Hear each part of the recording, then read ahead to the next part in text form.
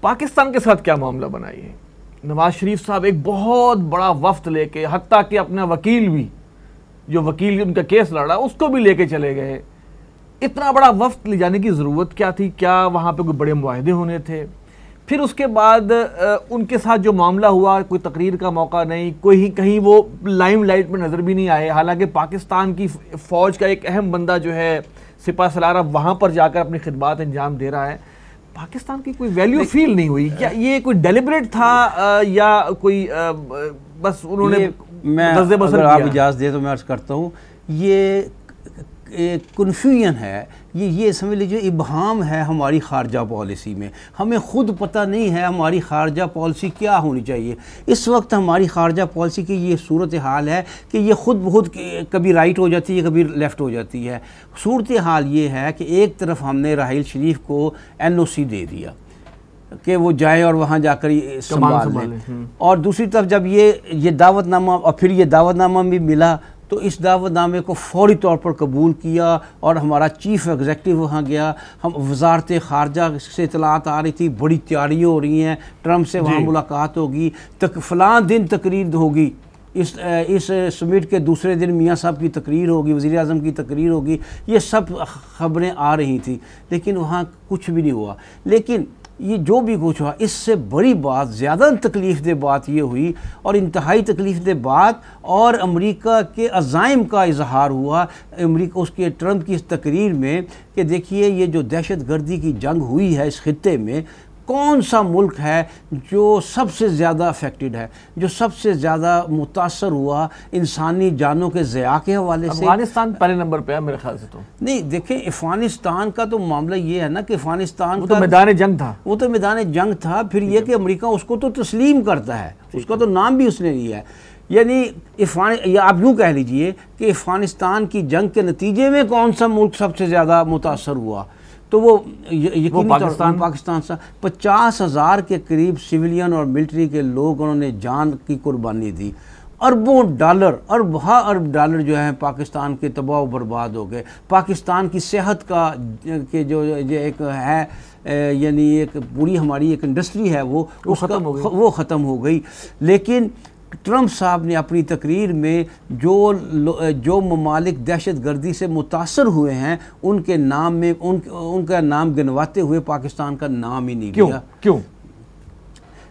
اس لیے کہ وہ پاکستان کے بارے میں ابھی مزید خوفناک عزائم رکھتے ہیں اور وہ پاکستان کی قربانیوں کو تسلیم کرنے کے لیے تیار نہیں۔ اور دوسرے وہ کہتے ہیں کہ ہم نے ان قربانیوں کی پیمنٹ کر دی ہوئی ہے۔ ان کے حوالے سے تو ہر بات ہے جانی انسان کی کوئی قیمت ہوتی ہے۔ ان کے حوالے سے تو ہر چیز جو ہے اس پیمنٹ لی بھی تو ہے نا سر جی ہاں یہ بھی ہماری بھی غلطی ہے۔ ہم کیوں اس طرف گئے؟ لیکن یہ ہے کہ انہوں نے تو یہ کہہ دیا نا کہ ہم نے ساری چیزوں کی پیمنٹ کی ہے۔ لیکن یہ ہے کہ بہرحال یہ بہت بڑی تکلیف دے یعنی نواز شریف کے ساتھ جو سلوک ہوا اس کو ایک طرف رکھ دیجیے۔ اصل تکلیف دینے والی بات یہ ہے کہ اتنی اتنی قربانیاں اتنا بھارت کا ذکر آ گیا دہشت گرد۔ اندازہ کریں بھارت خود دہشت گرد ہے ہاں۔ کشمیر میں دہشت گردی کر رہا ہے۔ بھارت ریاستی دہشت گردی کا ارتکاب کر رہا ہے کشمیر کشمیر میں۔ بھارت نے بہت سے اپنے ہمسائے دوسرے ممالک میں بھی دہشت گردی کی ہے۔ پاکستان میں کی ہے۔ پاکستان میں کی ہے نیپال میں کی ہے بھوٹان میں کی ہے تو بھارت اس طرح کے ہے لیکن اس کا نام بھی اسے دہشت گردی کے متاثر ممالک میں گنا ہے۔ پھر سوال ڈاکٹر صاحب آپ سے کیوں نام نہیں لیا پاکستان؟ ناراضگی ہے پاکستان سے؟ دیکھیں ایک تو بات انہوں نے کہی کہ جناب چونکہ پاکستان پیسے لے چکا ہے لہذا نام نہیں لے میں آپ کو میں آپ کو اس کی بیک گراؤنڈ بتاؤں۔ اس آپ کے ان پروگراموں میں میں کئی بار یہ کہہ چکا ہوں کہ پاکستان میں فورن منسٹر کا تقرر نہ ہونا ایک بہت بڑی خرابی کا باعث ہے۔ وزیر اعظم نے یہ پورٹ فولیو اپنے پاس رکھا ہوا ہے۔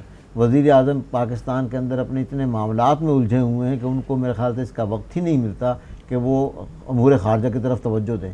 اکثر معاملات میں فوج جو ہے وہ لیڈ رول ادا کر رہی ہے بہت فورن پالیسی کے حوالے سے۔ خاص طور پر چلے میں وہ تمام چیزوں کو چھوڑتے ہوئے اس پرٹیکولر جو یہ ایونٹ ہوا ہے اس کے حوالے سے بات کر رہا ہوں۔ یہ ایسا نہیں ہوتا کہ آپ یہاں سے اٹھ کر چلے گا کہ میں جا کے وہاں تقریر کروں گا اور آپ تقریر کر دیتے ہیں۔ اکثر ممالک جو ہیں، ان کے جو منسٹری آف فورن افیئرز ہوتے ہیں منسٹر آف فورن افیئرز ہوتے ہیں، وہ پہلے جاتے ہیں۔ وہ جہاں کر وہاں پر ملاقاتیں کرتے ہیں۔ وہ دیکھتے ہیں کہ کوئی موقع ہے، ہمارے جو ہیڈ آف دی اسٹیٹ اگر آئے گا تو اس ہیڈ آف دی اسٹیٹ کی ملاقاتیں کن سے ہوں گی؟ کیا پروگرام ہے اس کا؟ کیا شیڈیول ہے؟ اس شیڈیول میں ہمارے پرائم منسٹر کا کیا رول ہوگا؟ وہ تقریر کا موقع ملے گا کہ یہاں سے کوئی گیا نہیں۔ وزیر اعظم صاحب چارٹر پلین کے ذریعے ساٹھ آدمیوں کا ایک وفد لے کر وہاں پہنچ گئے۔ اتنا بڑا وفد لے کر کسی آفیشل وزٹ پر جب کوئی ہیڈ آف دی اسٹیٹ جاتا ہے جب بہت سے معاہدے کرنے ہوتے ہیں۔ جی جی۔ ان کے بہت سے ڈپارٹمنٹ کے سیکرٹری ساتھ ہوتے ہیں بہت سے نمائندے وہ ساتھ ہوتے ہیں۔ کچھ پریس کے لوگ ساتھ ہوتے ہیں وہاں جا کے کوئی پریس کانفرنس انہوں نے کرنی ہوتی ہے مختلف معاہدوں۔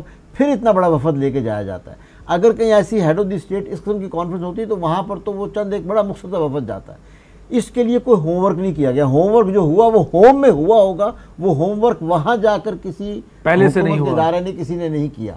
وہاں جا کر جو بھی مطلب ہے اگر کوئی منسٹر آف فورن افیئرز ہوتا ہے وہ پہلے پہنچ جاتا ہے.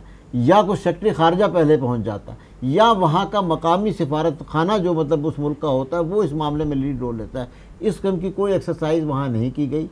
ہاں تقریر تیار کر لی گئی. اس خوش فہمی میں کہ مجھے موقع ملے گا تو میں تقریر کروں گا.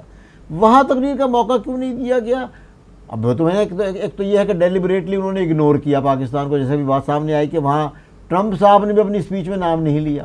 نہیں میرا صرف سوال وہی ہے نا سر کہ وہ کیوں؟ ہمارے میں بتا رہا ہوں نا یہ خطرہ ہو سکتا ہے کہ پاکستان چونکہ بڑے ٹائٹ روپ پر چل رہا ہے ایران اور سعودی عرب دونوں سے ایران ہم چاہیا ہے ایران سے تعلقات رکھنا چاہتا ہے۔ راہیل شریف جو ہمارے تھے وہاں گئے تھے۔ اس وقت بھی یہ باتیں آئی تھیں کہ جی ہمیں اپنے مطلب اس طرح بالکل ایک سائڈ نہیں لینی چاہیے۔ اور اس وقت بیان یہ آیا کہ راہیل شریف صاحب نے یہ اس جو معاہدہ ہوا ہے اس میں ہے کہ وہ کسی مسلمان ممالک کے خلاف اس میں نہیں ہوں گے بلکہ وہ آپس میں قریب لانے کی کوشش کریں گے سعودی عرب کو اور ایران کو۔